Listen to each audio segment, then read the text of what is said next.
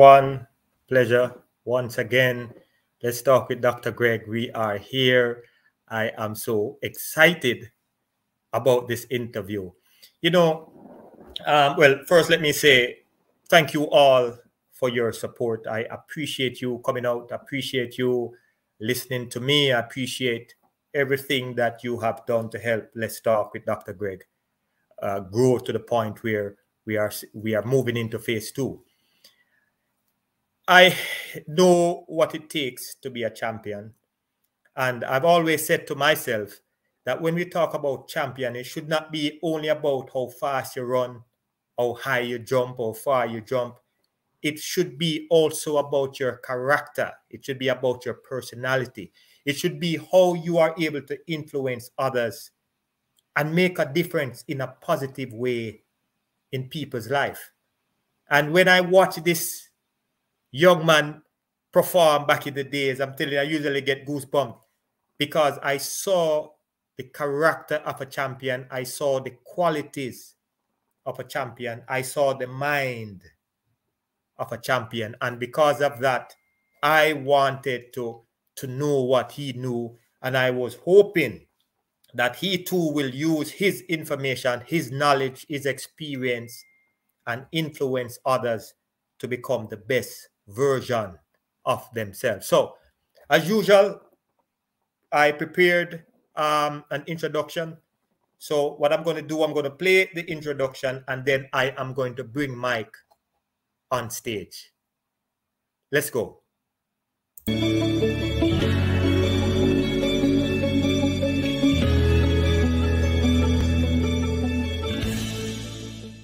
passionate, determined, resilient, and humble are some of the adjectives that best describe this two time world champion and world record holder, Michael Anthony Powell.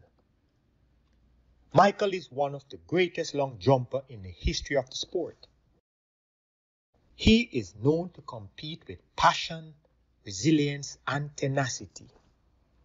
Like most champions, Michael disliked losing, and because of that, he is always prepared to give his best effort when he competes. And he is never afraid to fight to the end, because that is what true champions do. In 1988, Michael won his first Olympic silver medal in Seoul, South Korea. When many thought Michael was broken after the loss, he bounced back with more enthusiasm than before. In 1991, at the World Championship in Tokyo, Japan, Michael crushed the previous world record set by Bob Beamon to win his first World Championship title. In 1992, at the Barcelona Olympic, Michael managed to finish second behind Carl Lewis in another competitive battle. Despite competing with an injury, Michael just never quit. In 1993 at the Stuttgart World Championship, Michael once again reigned supreme by destroying the field and winning his second consecutive World Championship title. A year later, he captured the 1994 Goodwill Games Championship. Michael continued to share his insights and ways of thinking to help young people achieve their highest potential in their lives. And therefore, it is truly my honor and privilege to welcome this man, this warrior, a great person, a superior athlete, and a champion to the stage. Let me hear it for this two time world champion and world record holder, Michael Anthony Powell.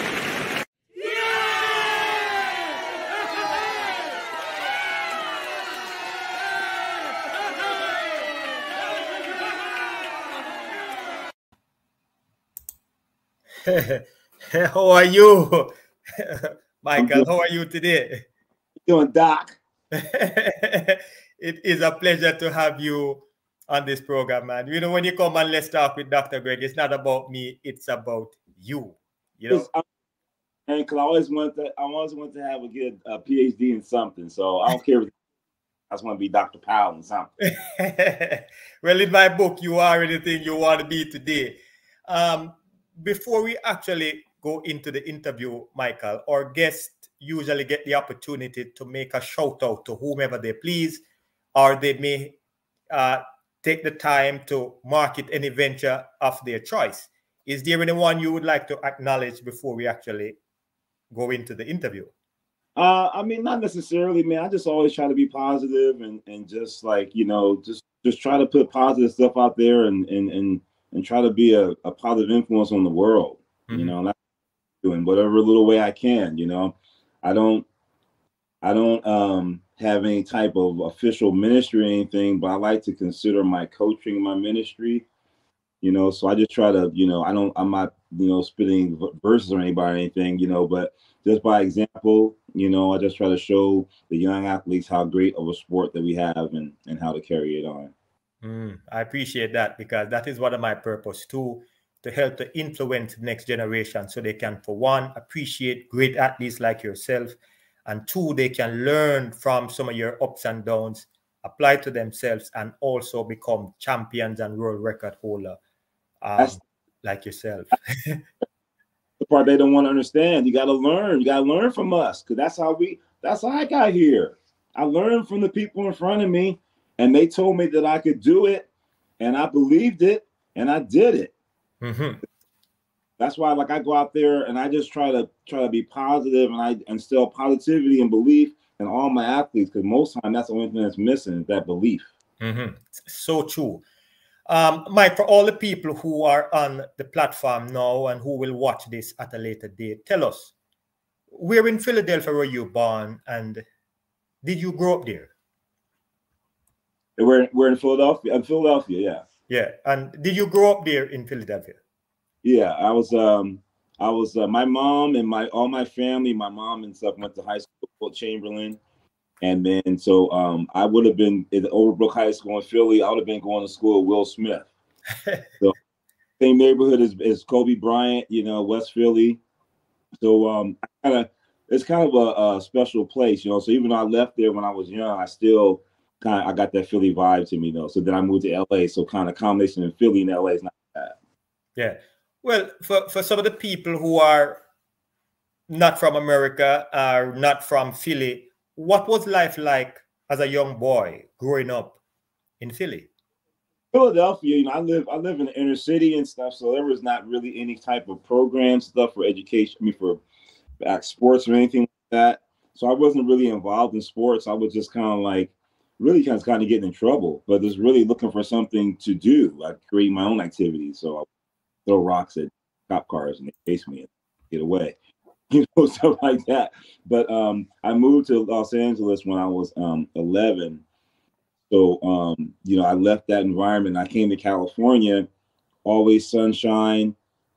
Everybody's always playing sport, no matter what time of year it is. That's the sport you play. So that's when I started playing sports. While I really I moved to California, and then I just kind of, I. Uh, but one thing happened happened in Philadelphia. I, I I remember I was playing a stickball game which is you know really big in the inner city. Mm-hmm. You, and we were playing against this other street, and I was a young guy, but I was so fast I got the hand with the older guys because they couldn't get away from me. So we're playing this game. I'm up for bat, the last at bat, and these guys in the outfield sat down because I was a young guy and they didn't think I could do anything, and I got mad, and I hit a home run. And the guys picked me up and carried me off off the off the field on their shoulders, and I was like, I like this sports thing. so from that point on, I always want to excel in sports, and that was my way of, of getting attention. Mm. Well, well, I, and sometimes that's what young people need. They need that extra motivation to start believe in themselves.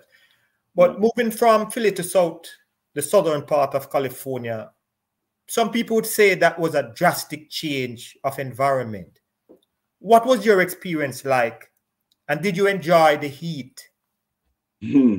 Oh yeah, I found out. I mean, I don't like the cold. I don't like the cold. No, I'm good. I'm good on that. And um, culturally, it was a big change for me because I lived like in inner city Philadelphia. I didn't know any white people. Only white people I knew were the police and teachers. You know, so I came to California. You know, it was a mixed culture and stuff. So it was culture shock for me, but it was good. You know, it was a good experience for me. I didn't have really good experiences in Philadelphia, so I got a chance to just kind of like assimilate and just you know immerse myself in all different cultures in California. And it's you know white culture, Hispanic culture, the Asian culture, you know Filipino culture. You know, it's all type of stuff. You know, and just not not to mention just the cultures with, within Black society and Black culture and stuff. So, I've always been really interested in people. Mm-hmm. Like I really like California because it's a melting pot of everybody. And it is so true. Who and what would you say was your inspiration that influenced you to become an athlete? Um, that's really easy. Um, Willie Banks, former world record holder in the triple jump. I was when I moved to California. I remember I was I was in like sixth grade, and I was watching the competition on television.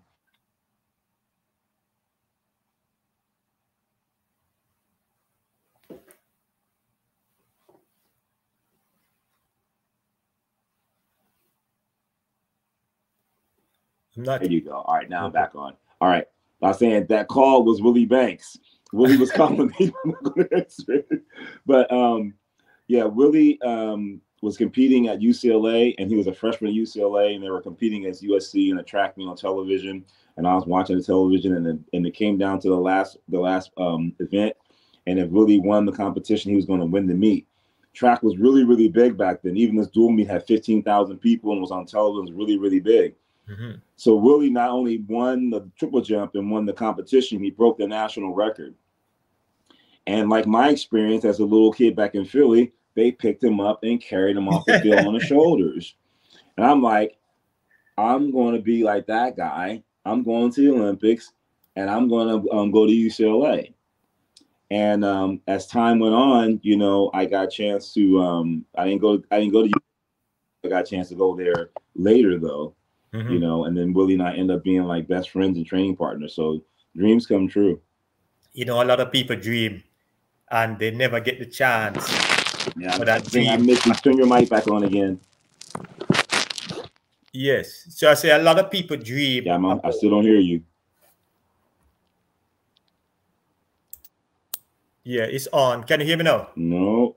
Oh. I know mine is on. I, I can hear you. Time, the first time I hear you either. Yeah, I can hear you loud and clear. I'm not sure. Let me see something. Oh man.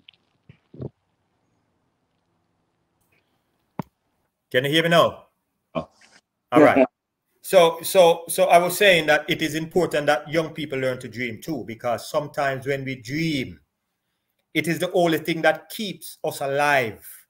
And you were able to dream about this, put the work in, and you were able to manifest things that people only dream about. Um, what high school did you attend? And I, I would love for you to enlighten those who are watching. What sport did you participate in, and how well did you perform? Well, I, in my high school, I was primarily a basketball player. Um, I was like we're getting recruited to play college basketball. I was um, academic All American and all everything, but I was a point guard and I couldn't dribble very well my left hand. Athletically, you know, nobody could stop me. I was dunking from the free throw line, kind of craziness, but I just couldn't dribble very well. So um, I had to choose between track and basketball. And actually, I went to UC Irvine thinking that I was going to do both sports, but when I got there, it didn't work out. Mm. Mm. I can tell you this, Mike, uh, and for a lot of Jamaicans too, if we did not get a scholarship from a US college, I don't know what would have happened to me. Oh I don't know what would have happened to a whole lot of the, the, the, older generation, even the younger ones coming up now, because it gave me an opportunity to be somebody. Right. Um, I would like you to let the audience know. In, you said you went to California, Irvine, but did you actually got a scholarship to to attend Irvine? Yeah, I got a half scholarship, and then um, my second year they they put me on full scholarship, and then um, I stayed one more season. Then I transferred to UCLA. I went to just get to a a, a bigger a bigger environment, you know. So um, you know, yeah, I transferred uh, to UCLA to be around just people like when I said I went to make the Olympic team, they wouldn't look at me like I was crazy. They would just say, "Oh, you mean like like Jackie Joyner or like Flojo over there or whoever else it was. And at that time, at UCLA, UCLA was like the place to be. So whenever anybody came through LA, you had to roll to UCLA. If you was going to do a workout, you came through UCLA to work out. That's how it was back in the day. Hmm. Well, who who would believe that Mike Powell only received a half scholarship?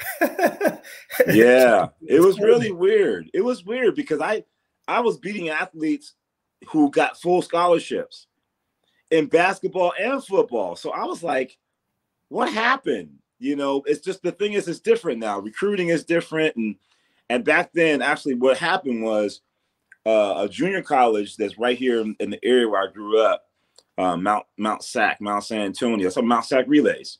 Mm-hmm. The Mount Sac, they were telling people that I was going to go to school there and to keep hands off. And the thing is, I already got accepted to a UC school. I'm not going to go to a junior college, but they mm-hmm. thought that I was going to. And actually, they laid they they dangled a carrot out in front of me. Tom Tellez came to my high school meet and he told me, "We don't have money right now, but if you go to Mount Sac for a year, you can come to University of Houston and jump with Carl Lewis."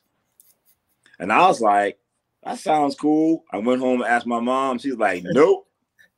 that was it. I was only 17, so I had no choice. you know what, Mike? A lot of time people believe that it is always smooth sailing for, for, for athletes when they go to college. Could you tell us some of the adversities that you face in terms of settling into college, in terms of the culture, and balancing your grades and your athletics? Well, you know, I was fortunate that um and that's what I think college is about. It's about meeting people. And I, I, I had a great group of friends at UC Irvine and at UCLA who really kind of showed me what really what family was about and what loving was about and how to hug somebody and tell somebody I love you and, and give some and kiss somebody. I didn't come from that stuff. So I learned a lot just about how to deal with people. You know, so I learned a lot and then and also just with the people I was around, you know, um, I uh I'm I'm a I'm an Alpha Phi Alpha, you know, so I'm black fraternity. So I pledged. So I had a, a, a, abundant Greek life, you know, Black Greek life at UC Irvine and at UCLA. So that was part of my experience too. Mm-hmm. And um, so um, you know, my experience in college was awesome. It was great because um, I was just living the dream, you know, getting paid to go to school, and I appreciated it. And um, I just, you know, I wish I would have put more time in my studies because I just wasn't really focused on my studies. I mean, I mean, I, I graduated, you know, mm-hmm. somehow I got my degree, you know, not, looking back, I didn't focus on it as much. I was really, I was really thinking, okay, I'm, I'm going to get my degree, but I'm really here for track because I wasn't as focused. And, and sometimes people are like mad at me because they said, oh, well, I'm a, I'm a student athlete. I said, I'm an athlete student and they would get mad at me, especially the black people. And I said, just because I say one doesn't mean I can't do the other. It just means my focus is on athletics. I'm still a good student too. I can do more than one thing at once. So I speak my mind like that. So, and I've always been that way. And if people, hopefully, people don't take it the right way, the wrong way. If they don't, though, it's okay because I stand behind what I say. Mm-hmm. And you know, I personally can relate to you because at one mm-hmm. point, I knew track and field was what I wanted to do. Mm-hmm. And I, I did enough to get by in college. Right. And, and, right. and I'm sure most of us who perform well would come to some realization to say, look, that is, that was the culture for us when we realized how talented we were. But in all honesty, though, could you remember the first time you flirted with the idea of becoming a professional long jumper? And also, when did you actually make that life changing decision to realize that aspiration in stepping into the pro? Well, when I was at uh, UC Irvine, my my my freshman year, you know, I um, well in, in high school I jumped like seven, you know, um, I don't know, seven ten or something like that, and then I also high jump to seventeen. I was more a high jumper, and then my sophomore my sophomore year um, you know, I turned I turned um, 19 because I was like I, I, I, turned I went to college at 17. So during the season I turned 19. I got older, more mature. The first jump of the season my sophomore year, I went 805. And then the next one I fouled one that was about 835. Mm. So right from that moment, it was like, okay, Mike's headed towards Olympic future. So from the time I was 19, 1983, I remember it was like February, end of February. It changed my life because I realized that, okay, I can I can do something with this because I knew I was I was only just starting to learn. And, I, mm-hmm. at that time I did that jump. It was the number one jump in the world. Mm, okay. So I gained a lot of confidence. And then people told me, and the thing is, I was a hooper. I was I always had hops because nobody jump jump higher than me. I was always dunking. So for me, I'm like this long jump. I just gotta learn how to run. I can can't nobody beat me in jumping. Mm. Let me learn how to run. I'll get this.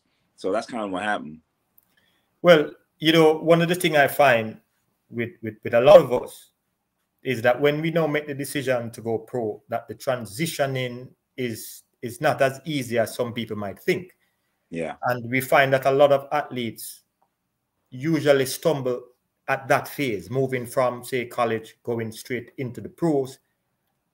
The coach has to be right, the environment has to be right, the structure of the camp has to be right, not to mention the almighty funding of the athletes. Everything. I want you to tell us, Mike, how was your transition? Was it smooth? Was it challenging? And what did you learn mm-hmm. in that process? Um, it it was it was kind of hard, but you know, it's it's that point that makes or breaks a career. There's a lot of great athletes out there who have been Olympic champions, but they didn't make it through that transition period.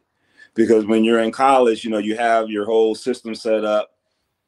You got your coach, your living situation, your finances, your friends, your girlfriend, your car, everything, every whole situation. Now, if you can trans if you can just move into that situation and go okay now i'm going to be a professional. I got the same coach same environment much easier. But most people now you got to find the coach. You got to find the right the, the worst city am i going to be in? How am i going to am i going to be able to finance myself? All that kind of stuff. Mm-hmm. and uh, at the same time trying to figure out am i really good enough? You know? So for me you know i was drag i graduated ucla um, and then i got hurt in 86 and in 87 you know i um i uh i i was training by myself basically. And um i i got number six in the world. I won one of the university games and i came back and i saw willie banks and i said willie can i train with you? And he was like why should i let you train with me? Because you know willie was a really the man at the time world mm-hmm. record holder. Mm-hmm. and i said because i want to know what world record holders do and whatever you do that's what i'm doing if you say hop to practice on one leg, we hop into practice on one leg. Whatever you say, I'm your I'm your apprentice. I'm old school, man. That's how I learned. If you want somebody learn from somebody, you gotta be their apprentice. You got to give it up all yeah. the way. And that's and the thing is, tell you the truth, Greg. That's why on the world record now, man. Don't nobody want to come give it up. Mm-hmm. I'll give it to them. I tell them. I can tell them. I can all these guys. I can tell them right now what they're doing wrong, but they don't even want to come ask me. I'm like, fine, I just keep on being a world record holder then. you know? Yeah. But that was tough. It was tough though making that transition. But then when I got with with Willie, and then he introduced me to Randy Huntington. He introduced me to a training system. I was still broke as a joke, living at home, driving just driving UCLA to make it. And then I made the Olympic team on my last jump, and that changed my life Mm-hmm. You know, it changed everything. I, I like I was teaching at the time at a school. I just finished, uh, and I was going to go and teach. I said, okay, if I make the Olympic team, I'm going to jump. If I don't, I'm going to start teaching. I was already in the position to teach, mm-hmm. and I mm-hmm. made the Olympic team on my last jump, and that it changed my life. Wow! You see, sometimes a second can make a difference in uh, life. A second, a fraction of a second, uh, a centimeter. You know, a, a, a bad decision, man, there's so much that can go right and go wrong. Because I mean, I'm a I'm a world record holder, but I don't have a gold medal in the games. I should, but mm-hmm. I don't. mm-hmm. I got you. I got you. I got you. And this mm-hmm. is why we hope that people will hear you, Mike, and realize that you're not that selfish type of guy who just want to hold everything for yourself, but no. you too want to give back and you want to share. Yeah. Your first Olympic game was in Seoul, South Korea, where you won your first Olympic silver medal behind legendary Carl Lewis. Yeah. What was the feeling like under the bright light, battling with the big boys. Also, what Man, lesson was- did you take Right. away from that? Was that Olympic? the last part? What lesson did you take away Oh, from okay. that Olympic experience? Seoul was fun because you know the way the long jump was back in the day. If you're a top long jumper, top three, that means you're probably gonna get a medal. You know, so I was number three, and I'm like, okay, I'm gonna get a bronze medal, pretty much. And then during the competition, you know, I ended up I had a jump and it didn't feel like very much. I turned around, it was a personal best on my 849, and that held up, and I ended up getting the silver. And it's really weird because right before the competition start, Carl Lewis came up to me and he said, Hey man, get a big jump out there early and man, you're gonna shake Larry. And I was like, okay. So I went down there and jumped and I watched Larry. He started tripping. He was he was shook and he ended up getting the bronze. So Carl was like put me up on game, but I know he's just trying to get rid of him too. Carl, Carl was always trying to work it, man. He was always trying to work it because even at the games, he was supposed to go first in the order in the final. And then I, it was commotion going on, and he was over there trying to change it. And they're about to let him. And I ran over there. I was like, no. I said, no, man. I said, I looked at Carl, I said, no, dude. I said, you already the best one. We're not making it easy for you. and he looked at me like I was crazy. I'm like, and you already know I'm crazy. I don't care. I said, he's from he's from Jersey too. I'm from Philly. You know, now get out, bro. Don't try that. You know, So- I said I, I was the only one though. Everybody else would let Carl do what he wanted to do. I'm like, Yeah. why are you guys doing this? So he won though, but that time I was like, I'm getting closer and closer. I'm gonna mm-hmm. get him eventually, but right now he's the man. But at least I got Larry. Now I'm second best. so, what was the relationship like? I would say between you and Carl outside the competition. Well, I think from Carl's perspective, I was just a guy out there who was coming after him, and he might even like me in, in the in the and, and like me a little bit. Mhm. I hated him like with a real, real passion, like want to beat him up. Cause that's how I got down. You know what I'm saying? My thing was Yeah. like I was a skinny guy, people, you know, trying to overlook me. I gotta I gotta fight my way. You under you don't you don't respect me. So when Carl came around, it was a it was he was completely arrogant. He made it really easy for me not to like him. Mhm, mhm. And, and, and the thing is, and I and I competed. I mean, some people can't compete well angry. I competed very well angry because that's how I competed. I was real, real fired up. So with if Carl was around or not, even in my training, everything I did, if I was doing a bench press and I was getting tired, I'd be like, Carl, ah, ah, ah. You know, I was doing a drill. I work on my arm punch. I was like, okay, I'm putting Carl's face right here. Boom, boom, boom. And that was all. Everything was about beating Carl and breaking the world record. Everything was about that. Well, he he was indeed the man in the moment. Yeah, I tell people it's like jumping. It'd be like running against Bolt. Same Mhm. thing. That's how. That's how he was. Mhm. In 1991, at the World Championship in Tokyo, you came back after losing in um, 1988, and you end up defeating Carl, which he was the Olympic champion. But you also did it in world record fashion. What did it take in terms of your training to perfect your technique so as to pull off such a magnificent performance amidst all that pressure?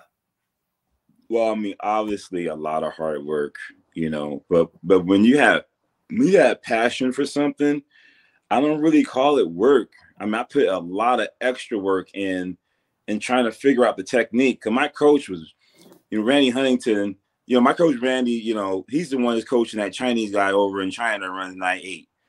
He's a bad dude. He's been coaching a lot of good people for a long time, but he's really super intellectual big time kinesiology background. This is back in the 80s. So he was he was talking way over my head most of the time. I was just trying to catch what he was saying, trying to figure out and convert all that science into my body to figure how to make myself better. So we were doing a lot of things ahead of the curve back in the day. Like back in 88 and 90s, I was doing already doing pull workouts and you know, we were doing the kind of stuff that people just started doing a couple of years ago, even, you know, Mhm. which has really helped my coaching because ahead of the curve. So we we're always trying to find the you know the the cutting edge of everybody whether it's a therapist or different type of training whatever else so we were always on the edge so um, my training i you know, confidence comes from preparation. And in my training leading up to the Olymp- up to the World Championships, my training told me I was ready to break the world record. Mm-hmm. And and then my last training session I had a personal best, and I was like, okay, let's go do it. So mm-hmm. you know that was the plan. That's what we went in there to do. We had the. I mean, I, when I first met Randy in 1988, he said we got a four year plan to breaking the world record. He broke the world record the fourth year. Mm. And you know, it is always good when you have people with a lived experience that can help you to take the guess out of what you're doing. Because today, that is one of the things I find. Right. That a lot of people are focused so much on the physical, and none of them seem to want to spend a lot of time on the mental. And that's more important. Mm-hmm. Mm-hmm. That's and that if anything, that's the main thing I got from Carl Lewis. The mental toughness that it takes to be a world champion. Because the physicality, I mean, okay, you have your freaky athletes, LeBron, Usain, super duper tall, athletic, beyond that. But for the most part, the athleticism is almost the same.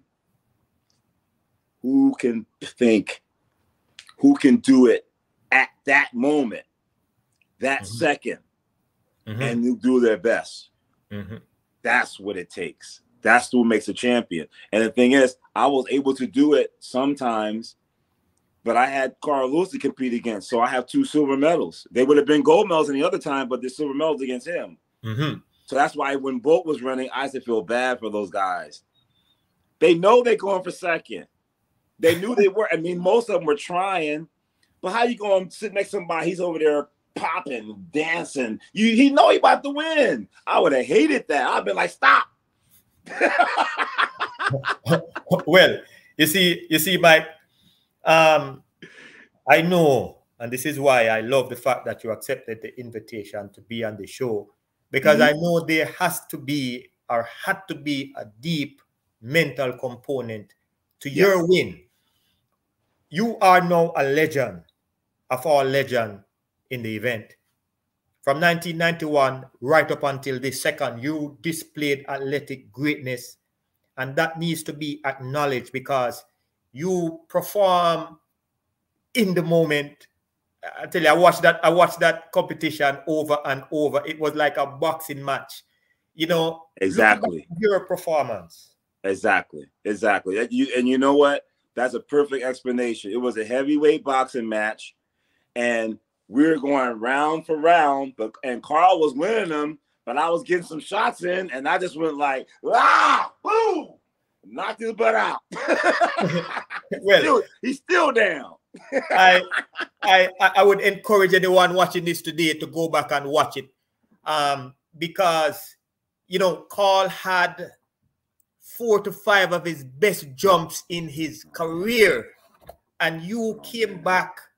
I want you to tell us the level of focus and how deep did you have to dig in the recesses of your mind to hold your composure and will yourself to that world record victory. I want you to share that.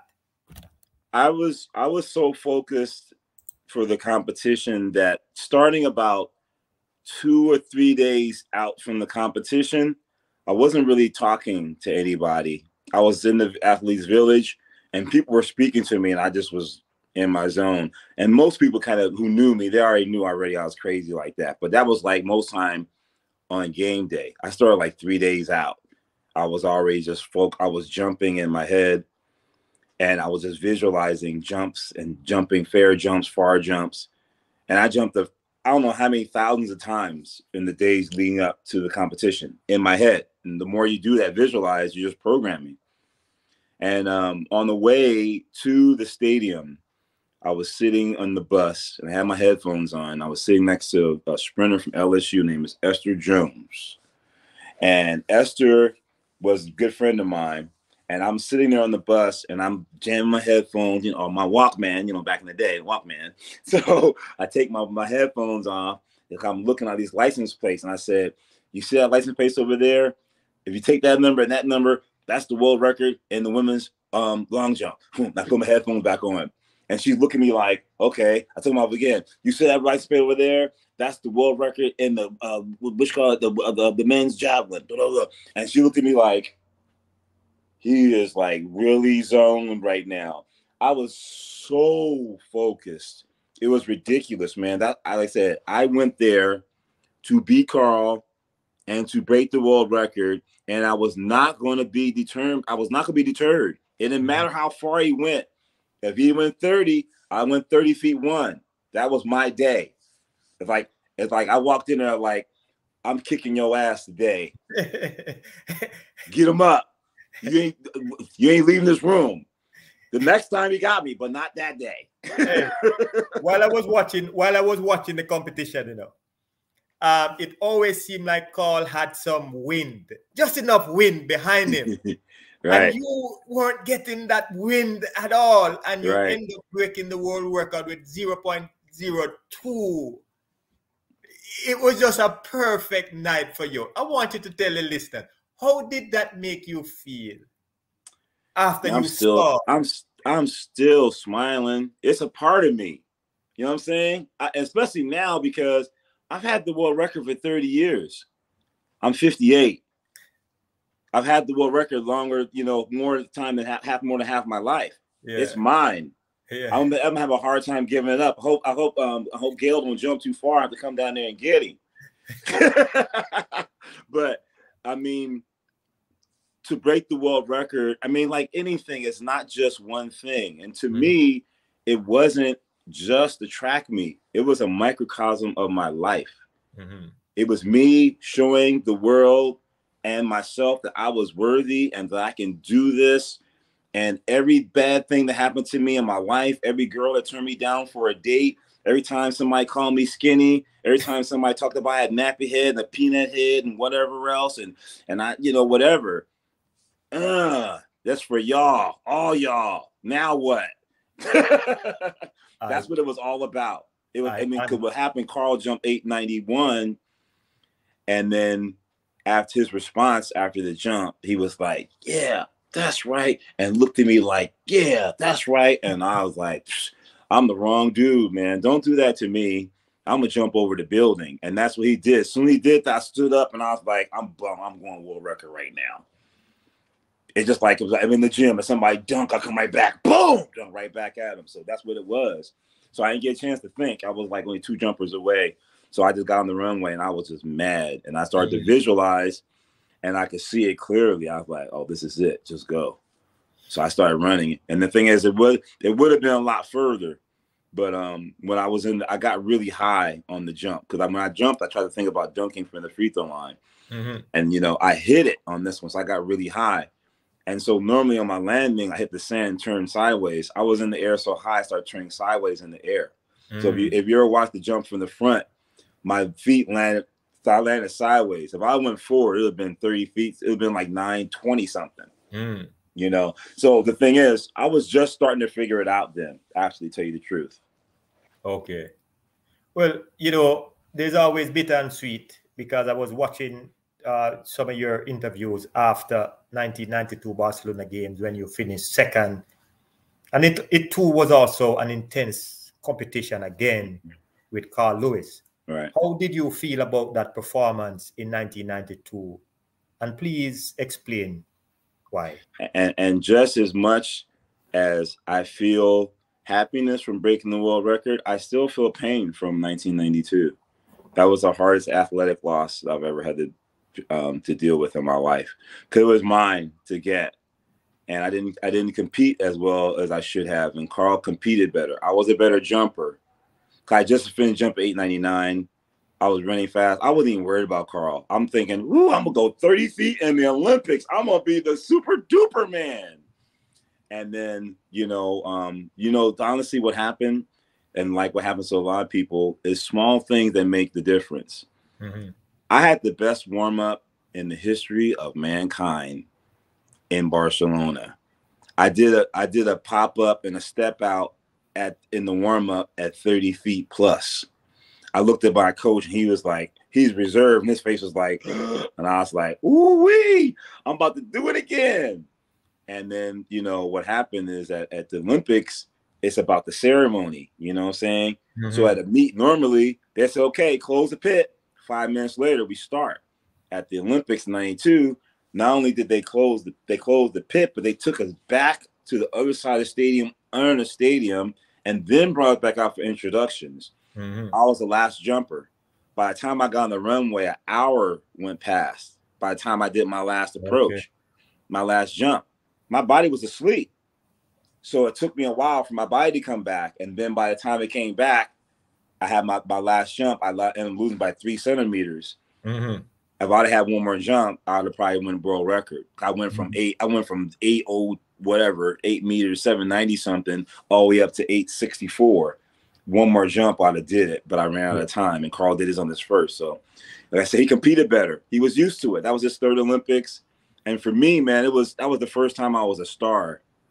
So I was being I was being rushed in the streets signing autographs. You know, I was running to celebrities. I mean, I was in the same hotel. I was sitting down. OJ Simpson came down, sat down next to me, and and I was like, "Wow, his head is big." but I remember thinking about that, and I got on the elevator, and you know, Phylicia Rashad, you know, from the Cosby Show, she was on the elevator. I loved her. I was like, "Oh my gosh!" And then I'm competing in the long jump, and this guy's yelling, "Come on, Mike! Come on, Mike! Come on, Mike!" I'm like, who's this dude yelling at me? I look over and it's Spike Lee, and I'm like, "This is crazy." You know, it was too much for him. It was it was too much, and I still almost won. But you talk about the small. It was so many things going around me. I wasn't, and Carl was just like, "Haha, I've been through this, been there, done that." So, would you say your level of focus wasn't the same, like say in '92, or would is is is, is it just... couldn't be? There's no way. Not, I'm not trying as good as much as I could, but you know, and plus, once when you like when I broke the world record, like I told you, that was all encompassing. That just wasn't a jump. It was my life. How you come back and top that? You know what I'm saying? Now mm-hmm. I was mm-hmm. hungry, yeah. But how you gonna be how you gonna be hungry after you ate? you know what I'm saying? I had a heck of a meal. I wasn't hungry no more. I was hungry, but I wasn't hungry. You know what I'm saying? Back and that's the difference. I wasn't hungry no more. And so, you know, the lifestyle catches up with you. You make different different choices, bad bad decisions, and you know you think you're right all the time, and everybody telling you how good you are. You know, it's what happens. That's why you need to have people around you tell you that your stuff stinks still. True, that is so true.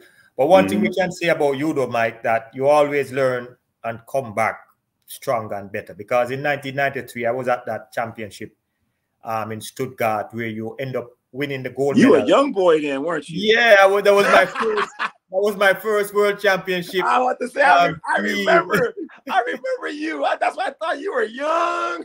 Yeah, like eighteen. I was a freshman. I was a freshman in college. I made my first world championship final. I was on the on the cloud, man. I, you know, just scared, don't know what to do. Yeah, I too was looking for a way, and this was my time. That's what I was saying to myself. But I want you to tell us after 92 and based on you going through that, how did you manage and maintain and sustain that level of competitive edge after learning from 90, 92 coming over to 93 and Well, I mean, I've, I've always been really goal oriented and also dedicated and loyal. And I'm a, I'm a track geek, man. I just happen to be a world record holder. I love the sport. I'm a fan of sport. You know, I know a lot of athletes now. I'm talking to them, they don't even know who I am. I'm talking to them, and it's okay. I'm not. I'm not looking to like get a pound the back. But when I when I was brought into the sport and the era that I came from, we were taught to sell the sport. It wasn't just my job just to go jump. It's my job to entertain the crowd, to make sure they left feeling good and not just because I jumped 850, but because I jumped 850 and I was dancing around and kissing babies and doing everything else. It's like the same. That's why I love when Bo was competing because that's the kind of stuff I was doing over in the long jump. So mm-hmm. I was more of a personality, you know, out there, and that's why. And so people could feel how I was feeling because I wear my heart on my sleeve. So they felt the highs and the lows, mm-hmm. and I was willing to show that, you know. And a lot of people and I'm, I'm, I'm not saying I'm better than anybody else, but I'm willing to put myself out there, mm-hmm. and it's okay. It's like I'm fortunate in that I say what comes in my mouth, and fortunately, my filter keeps me out of trouble. But I say some stuff sometimes get me close to the edge. well, well, you you you just talk about the highs and the lows, and as a professional, former professional myself, I know by experience that the sport is filled with a lot of peaks and valleys. Oh my God. As you just mentioned, it highs and lows. So I want you to invite us into your mind. Can you share some of the challenges you experienced preparing for the Olympics and the World Championships and how you were able to overcome many of them to perform those legendary performances time after time, highs and lows, keep coming back?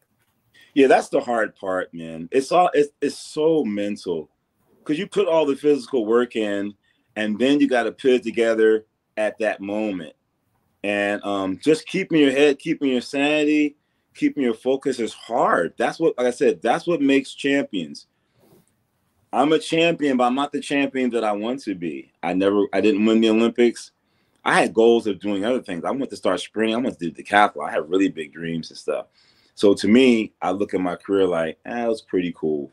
You know, I don't. I feel like my world record should be further. You know, but that's how we're wired.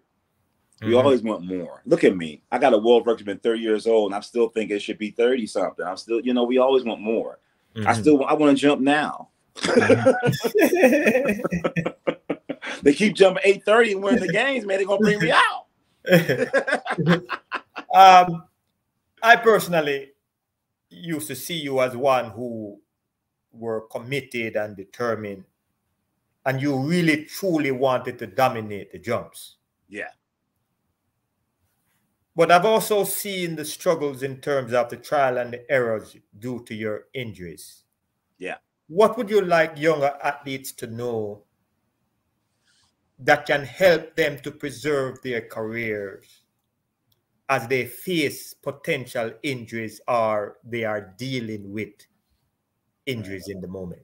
Right. Well, I mean, being being injured as an athlete is is just part of part of the game especially being like a jump or something. I mean, Every event has their own thing, but when you're doing the jumps like that, man, you're really putting your body under a lot of duress. So the thing is, you have to make sure you do a lot of preventative injury things in your training. So it means you have to get a really good therapist. Having a great therapist is just as important as having a great coach. Mm-hmm. You know what I'm saying? So you got to make sure you surround yourself with the right people. Understand your body. Understand how your body works.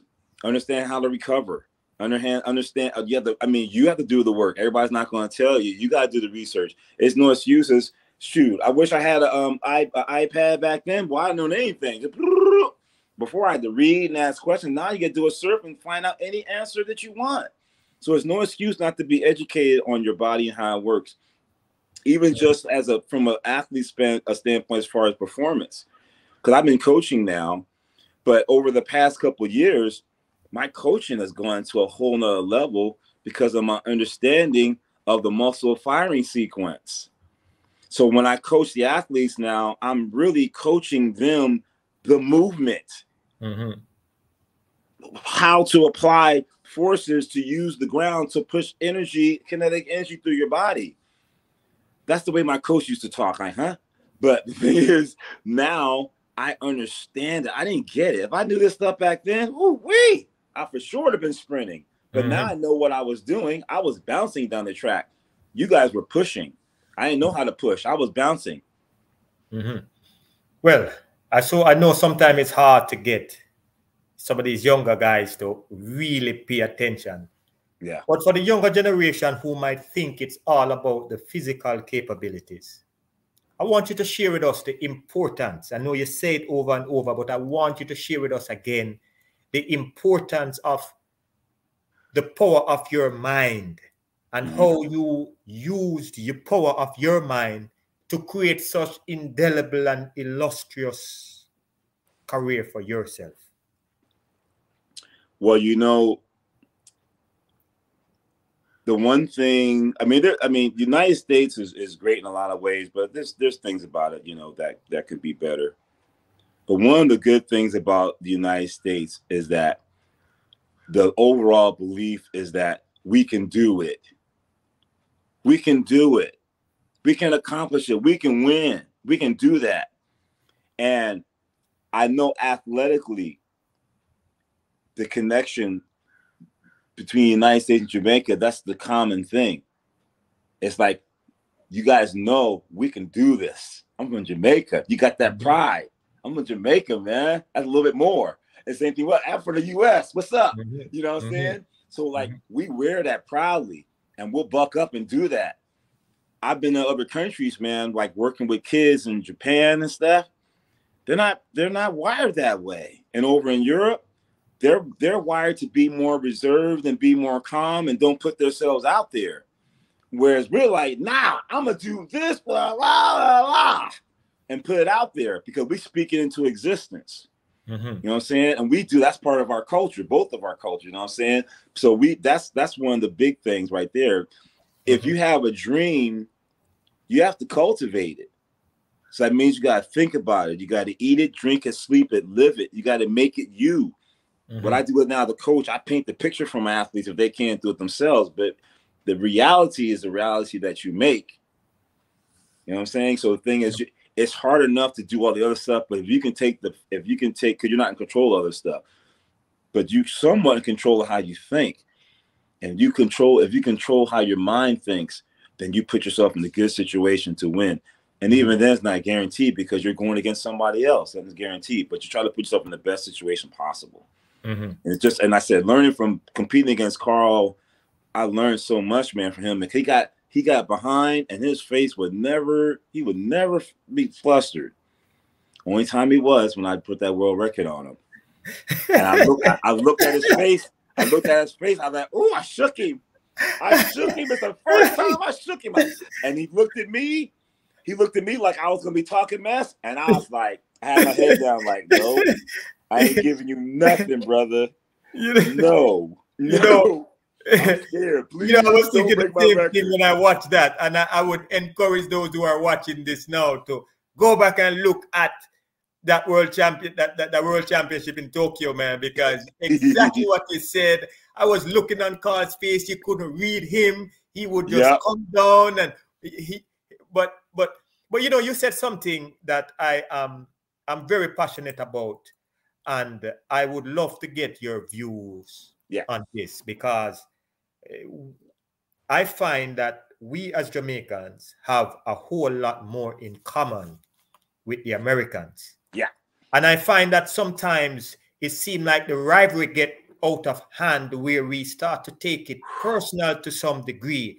Yeah. I love all American athletes. In fact, Michael Johnson was the one who gave me the opportunity yeah. to resurrect my career. I used to hang out with the Americans. And I, even though I competed against them, I never saw them as the enemy. Yeah. Based on your view, do you like what you see in terms of how the rivalry caused a division between us because we are indeed family? We really are. I mean, I don't like it. I like it as far as the, as far as what people do as far as motivating each other, as far as competitively. But I I remember the first time that I really knew something was wrong.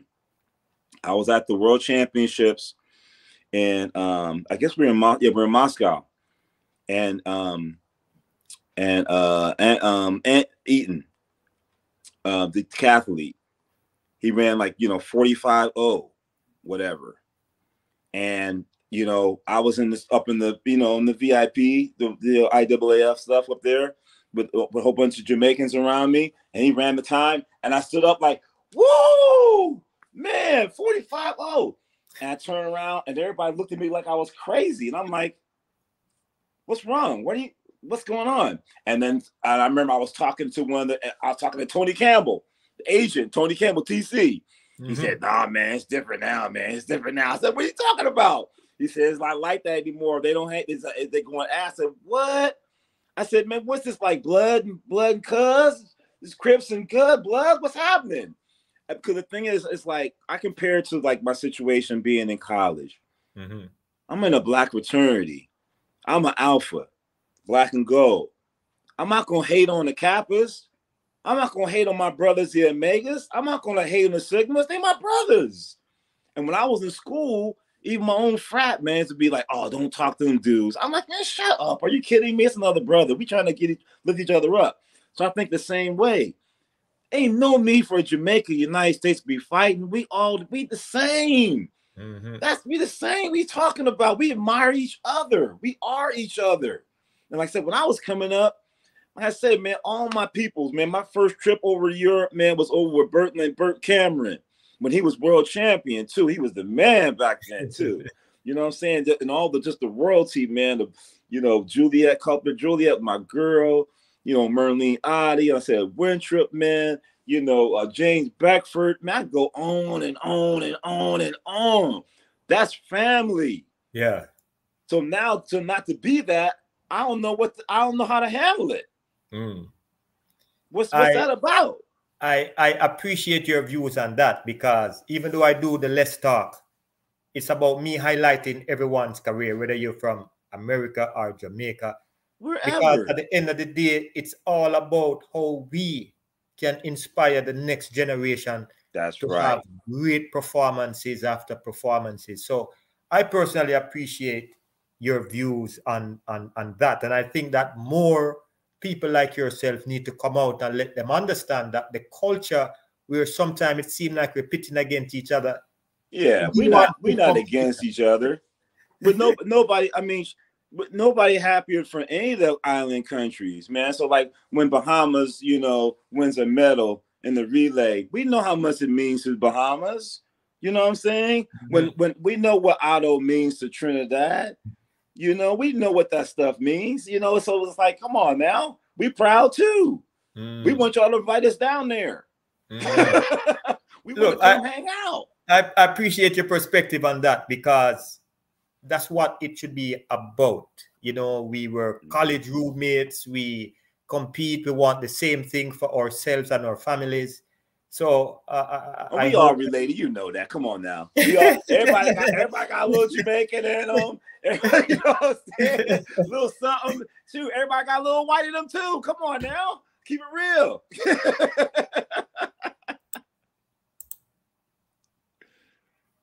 Did I lose you? Okay, I don't know how to keep seeing something popping up on my page. Okay. Um, you have always stressed, Mike, the importance of setting clear goals, staying focused on those goals. Yeah. Especially that you set for yourself. Yeah. You became a world champion and a world record holder in an event that is remarkable in my eyes. And we talk about it, we laugh about yeah. it, and I'm sure we learned a lot from that determination. Yeah. You have also done remarkable things in the face of adversity. Could you tell us your secret? How were you able to pick yourself up multiple times and keep on moving forward time and time again?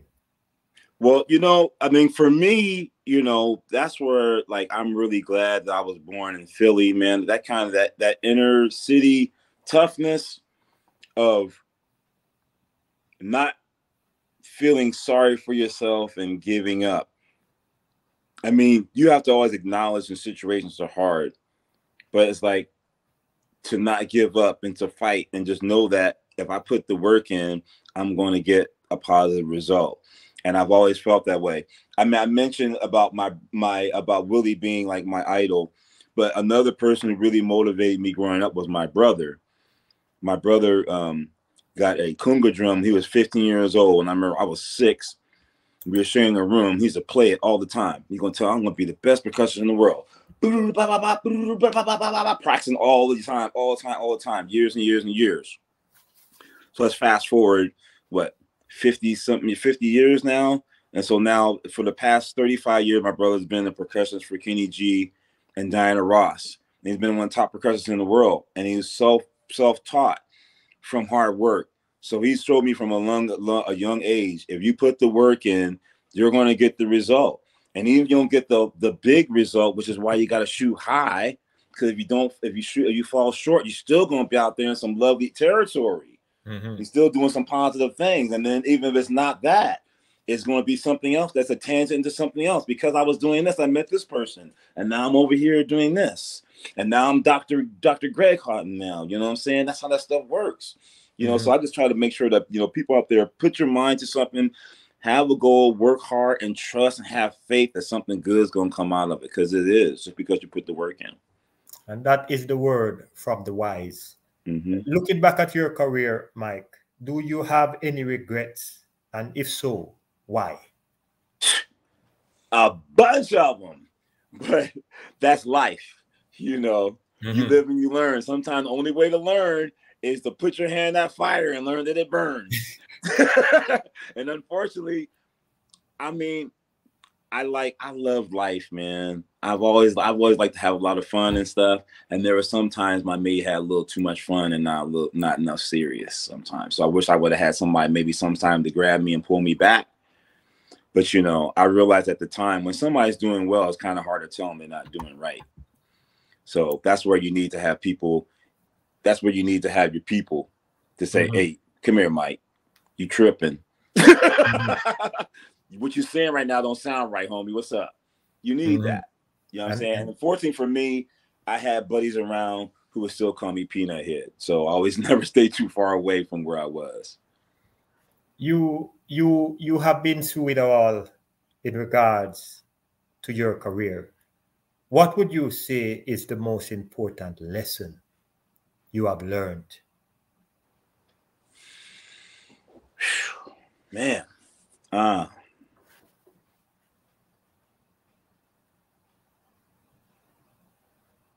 enjoy. Enjoy the moment because you never know. You know enjoy the moment because i think back like i mean i'm blessed now that i'm still an ambassador for you know for world athletics and i still get to go around the world and do appearances and traveling and stuff but when i think about the fact that i spent my 20s and, and half my 30s traveling around the world getting paid to jump in some dirt people paid me to do that. So I get I get a chance to go experience different cultures all around the world and meet different people and stuff. So it's like I'm happy because I remember there was times when we'd be over there in Europe and people be sitting up in their rooms. I'm like, man, I'm going out. I'm going out into the city. I'm about to go have dinner with this family and find out what's really going on in Germany. What are they talking about? That kind of stuff. So I always manage to stay in the moment and enjoy it. And mm-hmm. um, I think that's a blessing if you can do that because a lot of times people don't realize the, the gift that they have in the present. You know, we, we need to be reminded, man. It's we, especially now, but you know, as we get older and stuff, you know, well, I am at least. You know, you look good still, but anyway. but hey, especially with COVID and people pass, man. People are gone that weren't here last year. You know what I'm saying? And then, I, and that's especially now for me. I mean, I'm almost sixty there's a lot of people of my friends who are dying from natural causes. Mm-hmm. You know what I'm saying? And I'm and I'm like this, bro.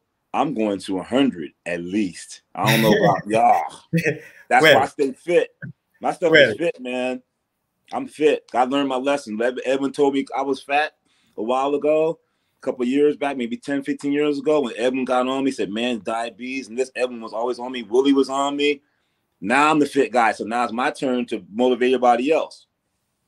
You know, when I was doing the research on you, I realized that you are exactly 10 years older. We were on the same day. I'm November 10th. What? You are November 10th. What? oh, man.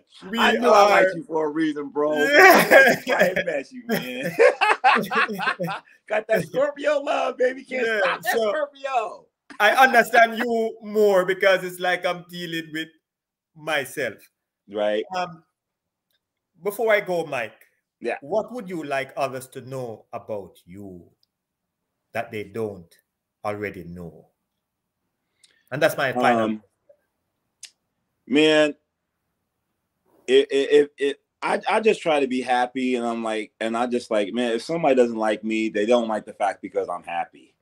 That means something's wrong with you. Other than that, I'm just trying to be happy and spread love, you know. And if anybody has ever misinterpreted that, I apologize, but I'm always just trying to be me and be happy and do the right thing. That's all. Mm-hmm. And I stand by and I'm and I'm willing to say that I was wrong and willing to say I'm sorry.